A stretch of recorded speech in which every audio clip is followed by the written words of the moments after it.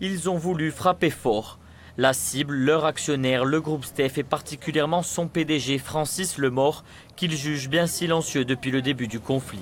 Pour se faire entendre, dès 6 h du matin, marins STC et CGT ont bloqué l'entrée de ce dépôt Steph, situé à Vitrolles.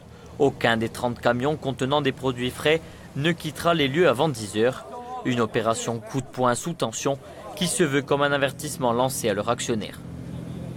Il reste toujours à se murer dans un silence. Nous avons décidé de diversifier les actions. Donc cet emblématique euh, entrepôt de Steph qui est un des plus gros de la région. C'est pour cela que nous sommes venus ici ce matin et nous avons bloqué les remorques. On a bien vu que M. Trojani a fait un pas en avant. Euh, on espère que notre actionnaire va en faire un autre. Et je n'ai pas l'impression qu'il se bouge beaucoup pour le faire.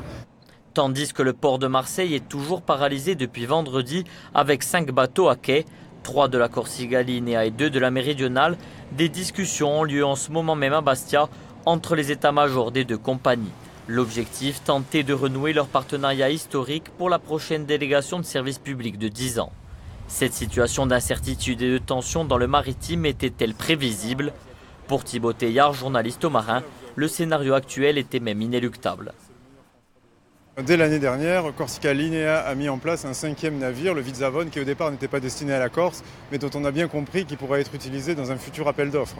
Donc à ce moment-là, ça faisait un navire de trop sur la DSP, qui malgré les arrêts techniques ne nécessite que 7 navires.